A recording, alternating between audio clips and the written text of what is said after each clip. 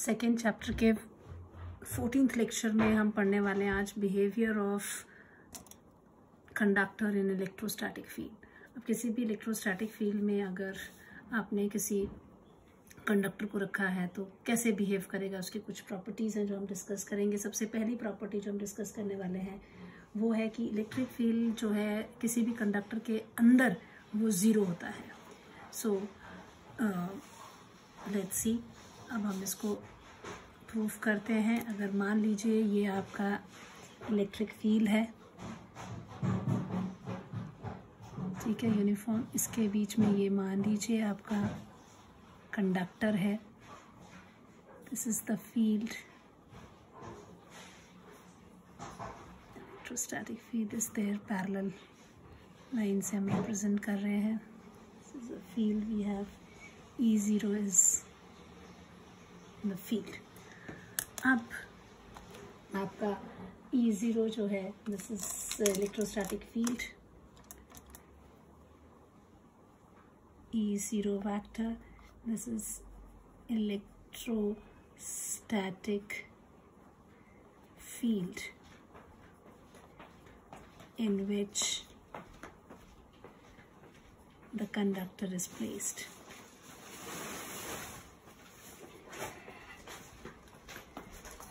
अब इस कंडक्टर के अंदर फ्री इलेक्ट्रॉन्स होंगे।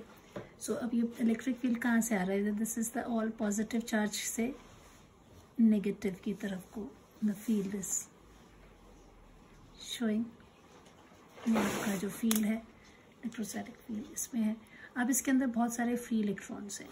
तो फ्री इलेक्ट्रॉन्स क्या होंगे? इस पॉजिटिव प्लेट की तरफ़ को ये अट्रैक्ट हो जाएँगे ये सारे क्योंकि फ्री इलेक्ट्रॉन तो जितने यहाँ होंगे, उतने यहाँ पर दूसरे एंड पे क्या हो जाएगा? उन इलेक्ट्रॉन्स की आपको कमी हो जा रही है। तो उतने पॉजिटिव चार्ज है। जिसके कारण एक नया ही अंदर एक इलेक्ट्रिक फ़ील्ड जो है वो डेवलप हो जाएगा, जो कि ऑपोजिट होगा टू द एक्सटर्नल फोर्स ये जो इलेक्ट्रिक फ़ील्ड प्रोड्यूस हुआ है E P this is due to redistribution of the charges so which is equal in magnitude to that of external so net field automatically will be zero so conductor इसको हम थोड़े से points में लिख लें conductor has many free electrons which experience a force वो force experience करते कितना F is equal to minus E into E zero ठीक है? इसके कारण क्या हो जाएगा? ये एक्सपीरियंस करेंगे। दिस फोर्स तो नेगेटिव चार्ज है इलेक्ट्रॉन का। Opposite to the charge sorry opposite to the direction of external field जो बाहर आपने फ़ील्ड रखा हुआ है इलेक्ट्रोस्टैटिक फ़ील्ड उसके ऑपोजिट डायरेक्शन में अप्लाइड फ़ील्ड के। सो रीडिस्ट्रीब्यूट जो चार्जेस हैं the electron electron will move towards end A of conductor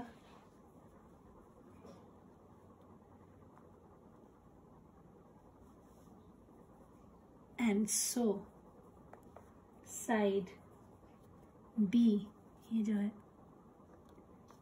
becomes positively charged.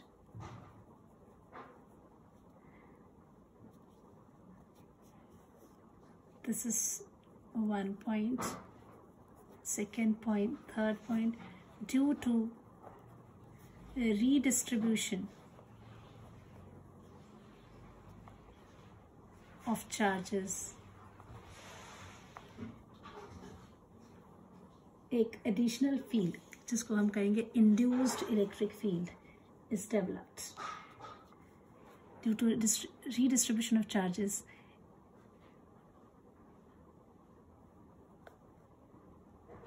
an additional field called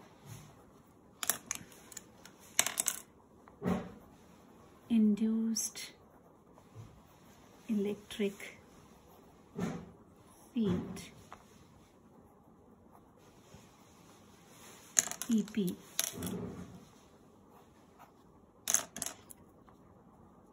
is developed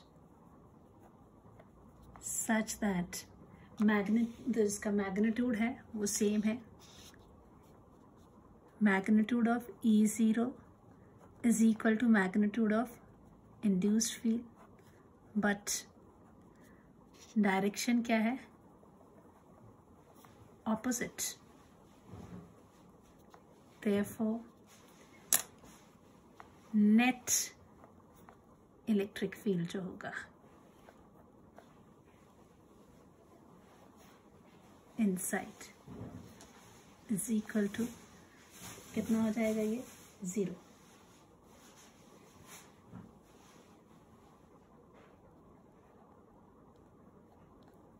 ये आपने याद रखना है कंडक्टर के अंदर जो इलेक्ट्रिक फ़ील्ड नेट होता है that is zero second property हम ये देखेंगे कि इलेक्ट्रिक फ़ील्ड जस्ट बाहर जो कंडक्टर के होती है इट इज़ ऑलवेज परपेंडिकुलर कोई भी कंडक्टर उसके बाहर जो इलेक्ट्रिक फ़ील्ड है, वो हमेशा परपेंडिकुलर होगा. फिर again I draw a diagram this is से द कंडक्टर इज़ ठीक है? और ये हो गया नॉर्मल एन कैप ठीक है? This is normal to the surface. Is the conductor. Now, हम मान लेते हैं लेट ये डायरेक्शन ले ई जो है नॉर्मल नहीं है, ले रहे ये थीटा एंगल बना रहा है सरफेस के साथ। Let electric field just outside conductor makes angle theta तो इसका जो कंपोनेंट एक लेते हैं, ये टेंजेंशियल कंपोनेंट ले लेते हैं। क्या हो जाएगा tangential component E cos theta base बन जाएगा ना, इसके साथ टेंजेंशियल ही जा रहा है, ये सरफेस है आपका। सरफेस की टेंजेंट हमने ड्रॉ किया हुआ है राइट थीटा एंगल बना रहा है। तो ये जो कंपोनेंट है E cos theta E just outside the conductor makes an angle theta with the conductor then E cos theta ये जो होगा E cos theta tangential component of the field tangential component of the field ये क्या करेगा? Tangential component of the field ये charge को flow करवाएगा. Then tangential component of the electric field will cause flow of charge flow of charge मतलब surface current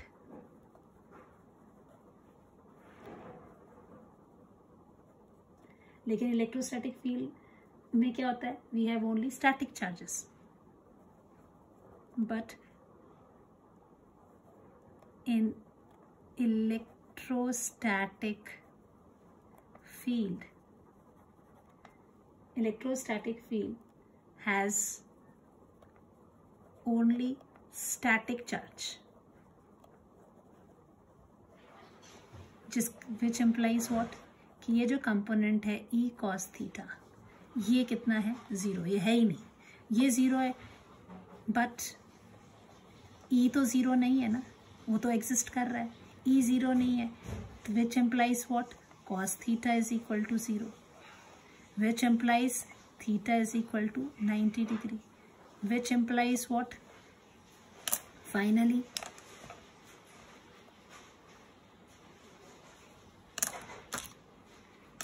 this implies that electric field is perpendicular to the surface of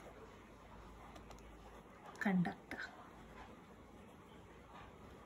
ठीक है। अब तीसरी property हम देखने वाले हैं बिहेवियर कंडक्टर का, जो ये कहता है कि इंटीरियर ऑफ़ द कंडक्टर में चार्ज ज़ीरो होता है। हमें ये पता है यहाँ से पता लग गया फ़ील्ड अंदर ज़ीरो होता है, बाहर वो नॉर्मली होता है। अब थर्ड प्रॉपर्टी जो हमने देखनी है that is the net charge in the interior of the conductor is zero so इस वाले को प्रूव करने के लिए क्या करेंगे कि we know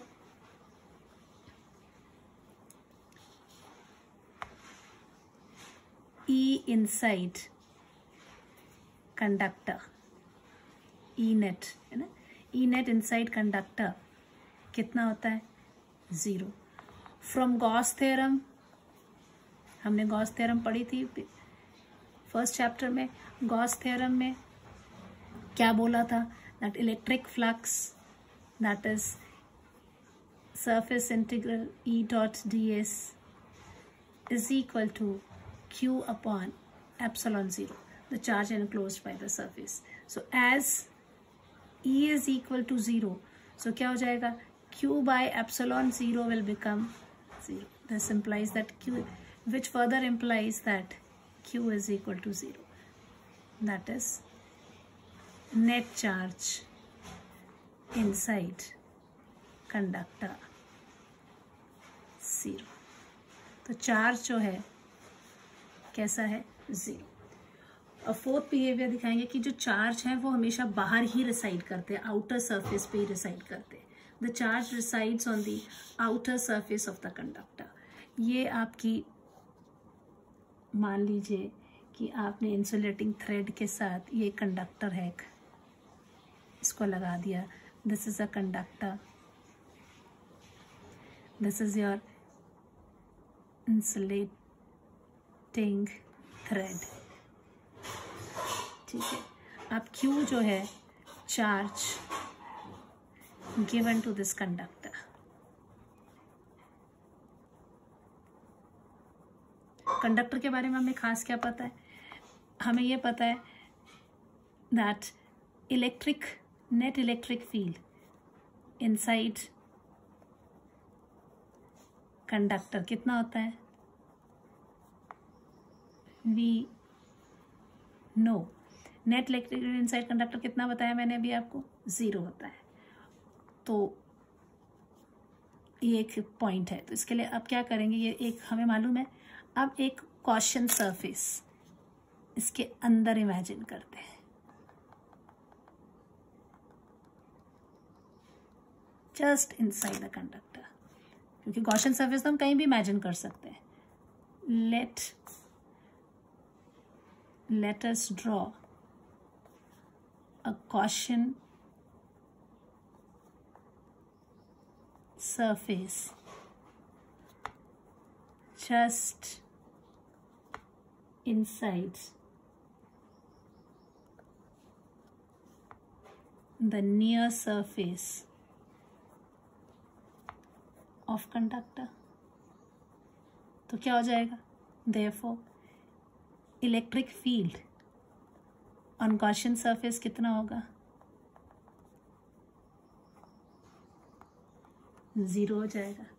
अगर गॉशन सरफेस ज़ीरो हो जाएगा तो which implies that E dot ds is equal to q by epsilon 0 and करते and E dot ds is equal to zero implies कि Q is equal to zero तो कहाँ गया? Which implies the net charge given is on the surface of conductor. तो इसका मतलब वो हमेशा वहाँ रिसाइड करते हैं।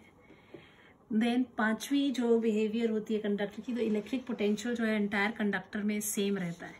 Electric potential is constant for the entire conductor अब हम ये पहले ही पढ़ चुके हैं relation between the electric field and the एक रिलेशन हमने पढ़ा था इलेक्ट्रिक फ़ी वी नो ये E is equal to minus dv by dr, line integral of the potential gradient ये चीज़ से हम क्या निकालते हैं?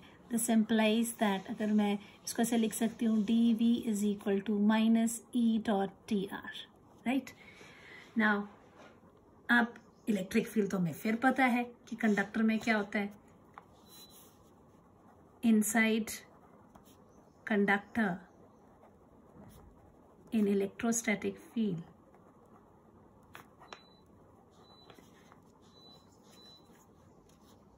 The net field is कितना?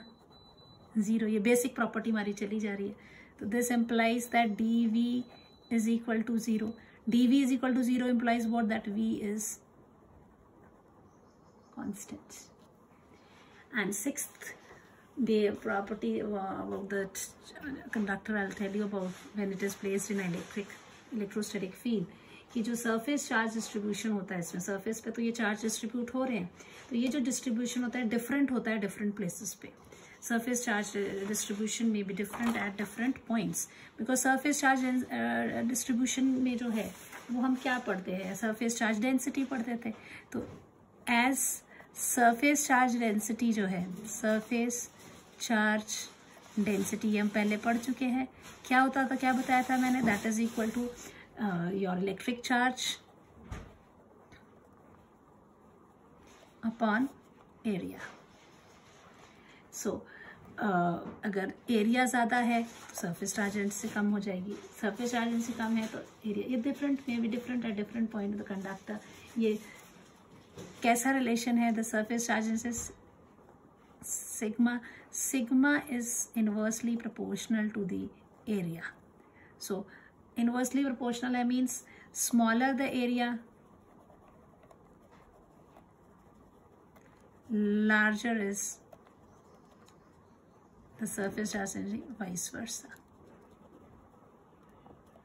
तो चार्ज डेंसिटी जो है वो पॉइंटेड पोर्शंस पे जो है